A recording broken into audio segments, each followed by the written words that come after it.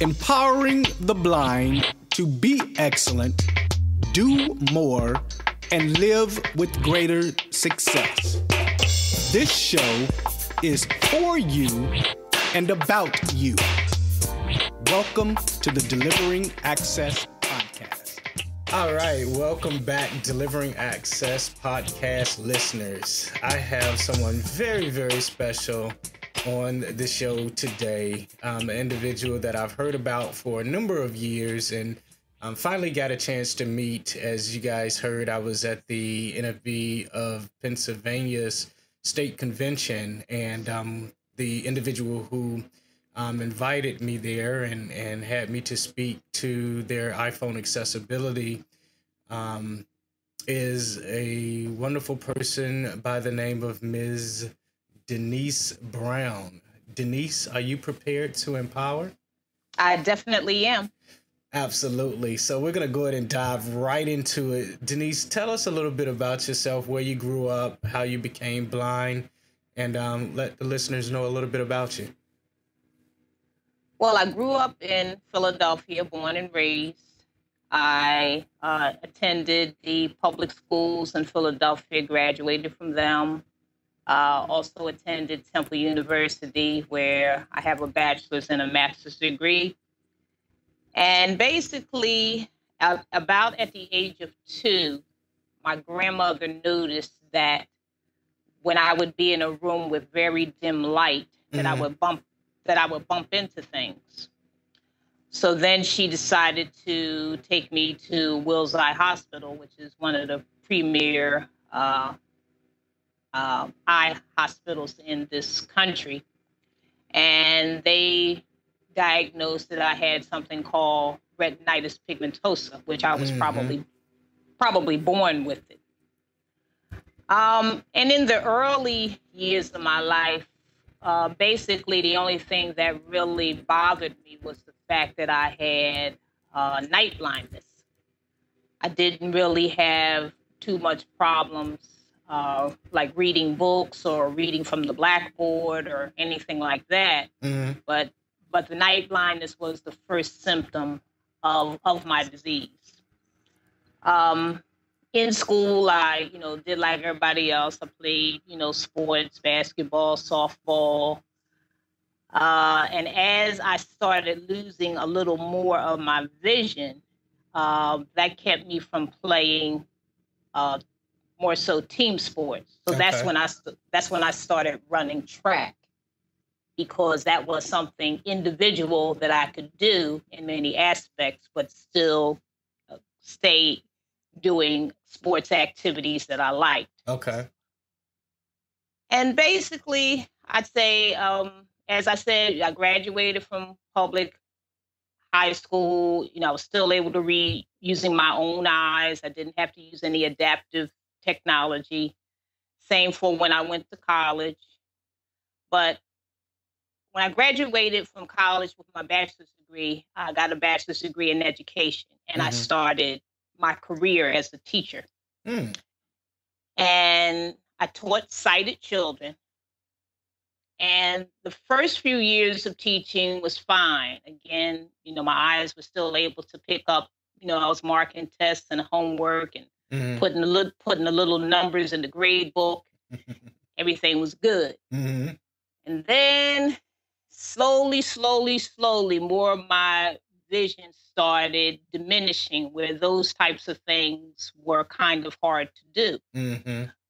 But once I told the school district of Philadelphia, my principal, you know, about the, the problems that I was having, mm-hmm. um, you know, under you know, some type of accommodations act. Uh, they were able to give me basically every type of technology that I basically needed to continue to do my job properly. Wow. So that all worked out well for me. Mm-hmm. Mm-hmm. And I guess to, to, progress up to now, um, in in 2001, I um, learned about the National Federation of the Blind, which is, you know, you you met me at an organ uh, organized meeting of that group, mm-hmm. and two years later, in 2003, I became the president of the Greater Philadelphia chapter. And basically, I've been advocating for blind individuals ever since.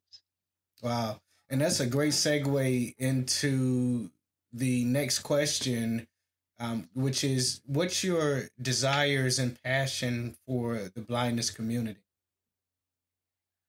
I really want blind individuals to understand that they can really truly be as independent as possible uh, with some training and education. Mm-hmm. Um, there's so many ways out here to continue to continue doing the same things you used to do, mm-hmm. but just doing them in a different way. You know, whether it's sewing, whether it's cooking, whether it's cleaning. Um, you know, you can still uh, work in your home on your own. You can continue to look for a job like everyone else to, you know, get some competitive funds in your pocket. I know that's right. Um, and students who are blind, you know, there's there's um, scholarships out there for individuals who are blind. And anybody, any young person who really wants to continue their education or continue looking for different types of jobs, there's almost always somebody blind already in that position that you could basically talk to about how they got where they are right now. So basically, some mentor um, yes is there already, and you don't right. have to recreate. Right. You know, the you wheel. Yes, you, that's that's correct. Okay, absolutely, and we'll get more into your mentor um, later in the interview. But what are some of the mainstream or assistive technologies that you're using right now to do uh, more each day? Well, that's uh, that's a plethora of of uh, objects out there. Uh, on the computer, I use Magic. Okay. Uh, Magic has screen magnification and uh, screen reading capabilities, and right now I use more of the screen reading capabilities. Um, I use an iPhone, of course, and, and an iPad that voiceover technology is excellent. Mm-hmm. I do just mm-hmm. about everything that you know anybody else does: text and read emails and make my flights and train reservations and everything else. Mm. Um, in my home, I have I have a talking thermostat, which uh, I really love. Uh, it allows me to set the temperatures at at different times for different times of the day, and it automatically uh, goes on and off to um, regulate things around here. Um, I have a talking scale. I have a, a micro microwave oven that talks. Hmm.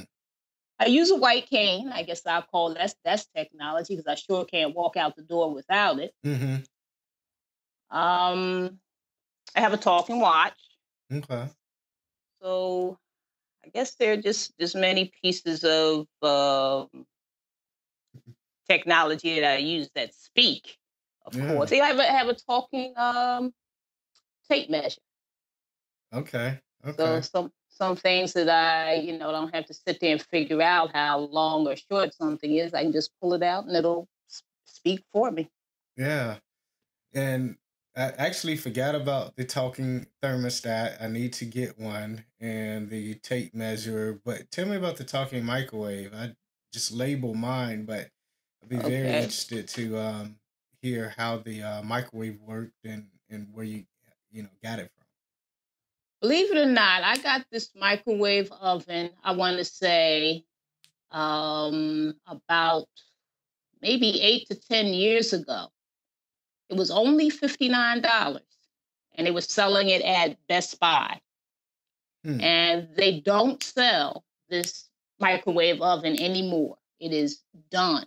You can't, it's, it's done. They just closed out on it, didn't make any more, and I don't know why. Mm-hmm. But on the microwave, there's some preset times. Like if I just want to uh, uh, cook something for one minute or two minutes. So from one to five minutes, there are these buttons that speak, and they'll say five minutes, and you just press the button and it starts cooking. Mm-hmm. Uh, there's a dial on there that if I want to fix other things, as I turn the dial, it'll speak and it'll say like soup, popcorn, uh, vegetables. And after you get to that particular item, uh, you'll press the button again and it'll ask you, uh, it'll have a weight there. Like for the soup, it might say uh, four ounces, and the next one may say 10 ounces. And then you press the button, mm. and it'll just automatically set the time itself for how long that particular item should cook. Okay. So so it's uh it's pretty good. It has a defrost button if I want to defrost something by time or defrost something by weight. Uh it's on there. Okay. Okay. And I I guess if something happens to this, I will be going uh, back to like how you're doing it now, where you have to get a microwave and then put your braille overlay on it to um, figure out what is what. Well, just darn, because I just thought I was going to be able to buy this talking microwave, but you know, so did you? Maybe tell, we can. Maybe we can make them come back. Right, I right. I was gonna say, did you tell any of your friends about the talking microwave, and did they get any? Or yes, I do. I do have one of my uh, chapter members. She was able to get one because her son was looking for a microwave uh-huh. for her. Uh, that you know, back then, eight, like I say, eight to ten years ago. right. So and uh, he he was able to get one. Yes, it is. Okay. Yes, well, yes, it is. Ten year old microwave still cooking.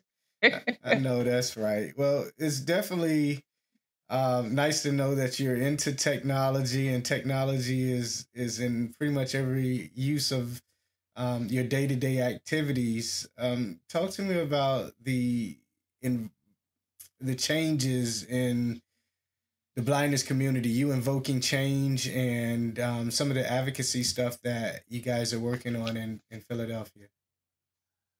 Well, I guess not just in Philadelphia, but through the state or through uh, the federal government. You know, we we're you know always up on whatever we're talking about in the NFB when we have our Washington seminar, mm-hmm. uh, such as you know fair wages for workers with disabilities. So, of course, we in some parts of our state we were part of the protest against goodwill for uh, not paying, you know, fair wages to persons with disabilities, paying them less than the minimum wage. Mm-hmm. Um, anything that we, you know, the the different bills that have been out, you know, concerning Social Security or uh, bills about college students having their books in an accessible and timely fashion.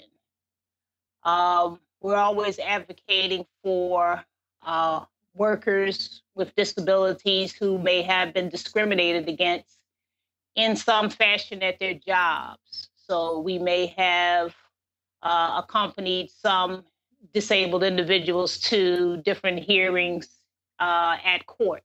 Mm-hmm.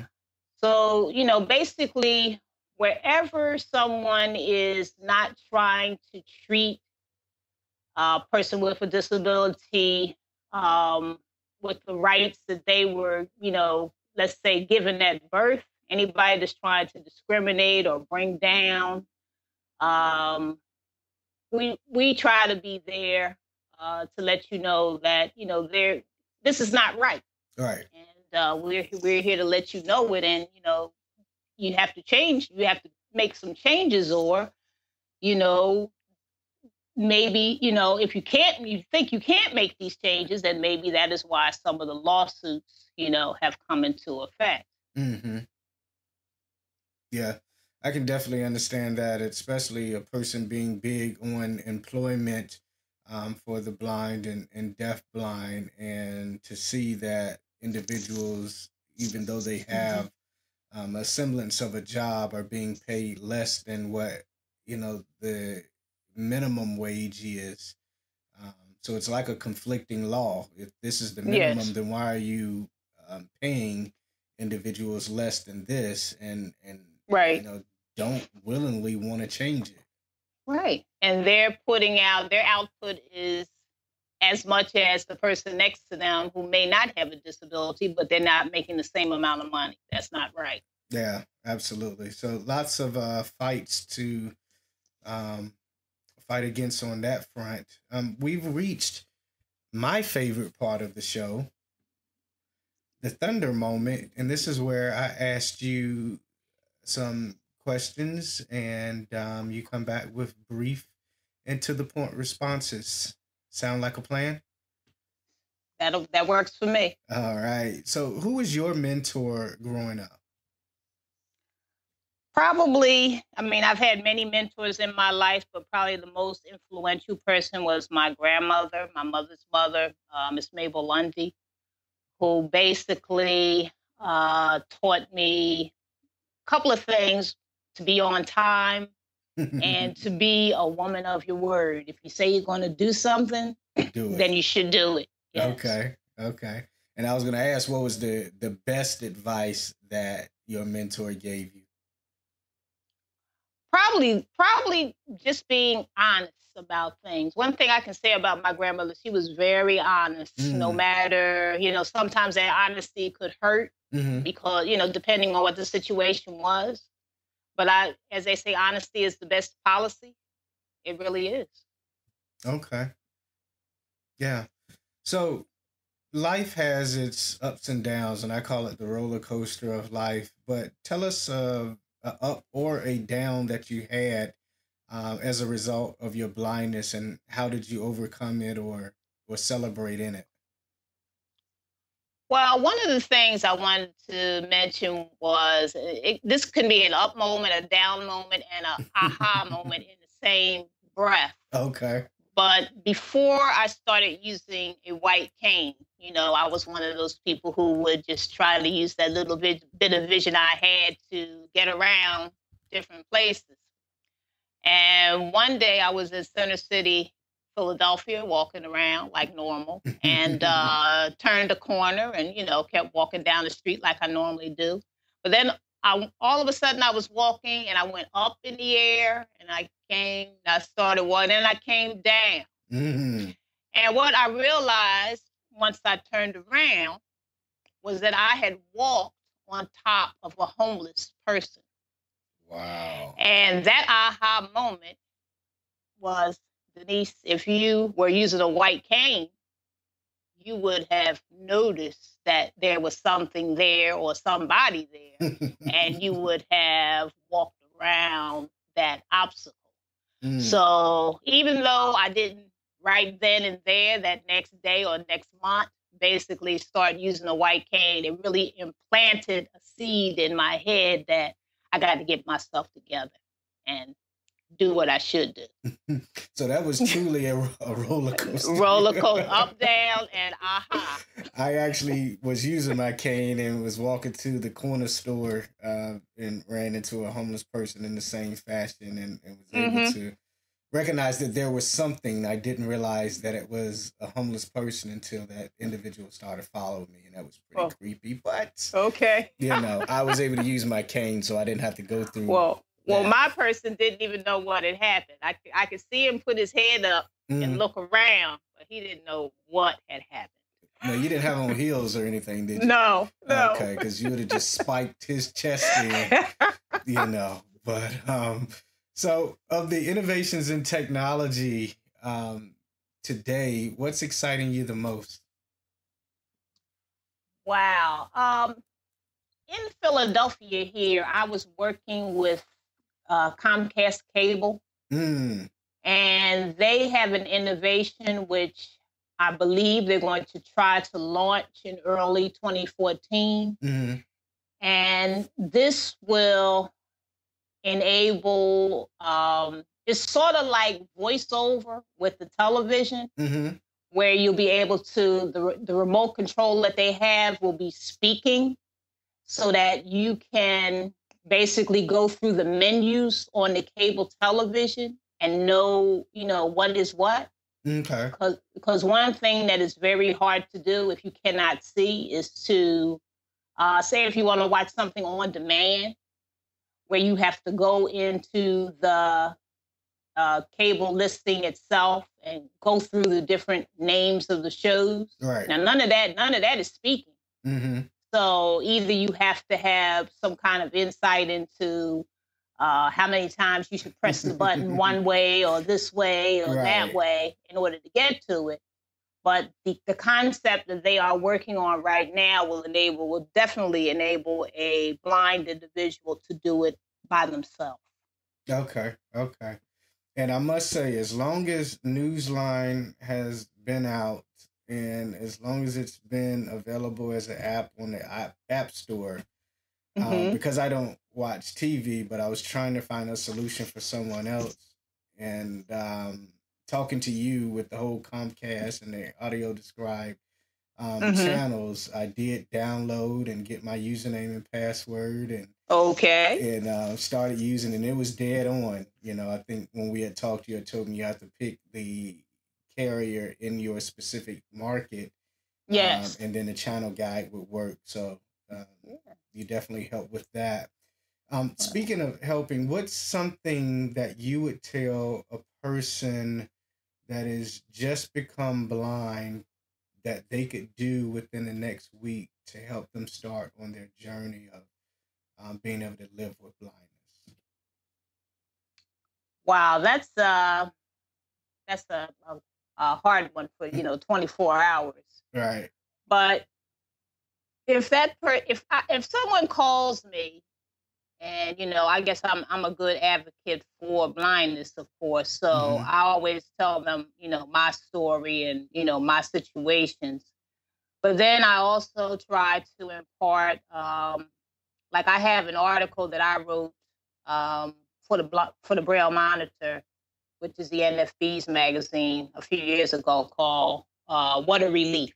hmm and it talk it basically talks about how I came to grips with uh, using a white cane. So, and then I might point them to a article that really meant a lot to me when I was going on this journey, which was uh, written by Ever Lee Hairston uh, years before, talking about her situation with uh, kind of coping with her blindness uh, once she started going to the Louisiana Center for the Blind. hmm So both of those stories, you know, really give some good information about, you know, things that we used to do or ways that we used to feel. But when we started either empowering ourselves by, you know, getting the training we needed or putting the white cane in our hand, um, then, you know, all that uneasiness kind of starts to go away because you really you really bring yourself to a different mold so to speak when you when you know that uh, these tools that are out there are out there for you so that you can make yourself more independent and you would definitely feel more successful Okay. Okay.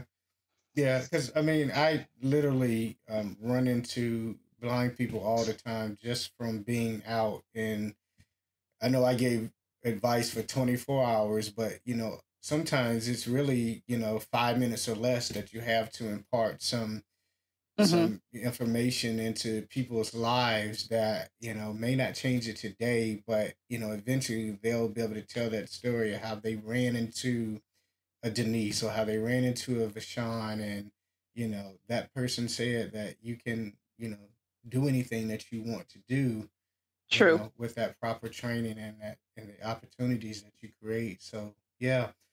Um we have reached the end of the show but um we've saved the last little bit. Um as they say saving the best for last. Um so tell us how we can reach you. Give us one parting piece of advice and then we'll say goodbye well you can reach me. My email address is d brown so that's d b r o w n 8827 at aol.com and I guess my parting piece of advice is just um, learn that accessibility is your friend. And uh, learn learn to use the tools that are out there, and learn to uh, stay in contact with uh, a person who's blind or a person who's disabled, uh, who you know can give you some mentoring advice. Okay, cool. Well, I'd like to thank Aaron Linkson, our podcast producer and sound engineer, uh, Denice Brown, our esteemed and lovely guest, and we'll say goodbye. All right, goodbye.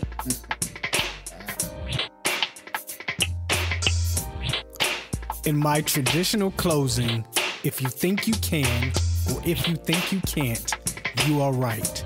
Think pennies, get pennies. Think dollars, get dollars. See you on the other side. This has been a Yuga Music Group production. Website 81x.com slash Yuga slash X. The Yuga Music Group can be reached at 678 608 8969. All rights reserved.